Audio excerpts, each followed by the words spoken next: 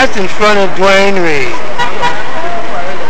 Tom Crater, you're a freaking embarrassment to the press profession saying ain't no homeless people in New York City. You're an idiot, Tom Crater. Have a nice day.